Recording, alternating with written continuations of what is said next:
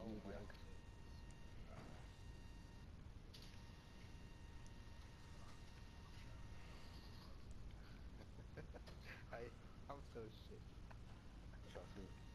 Bro, I was doing the exact same thing you was before.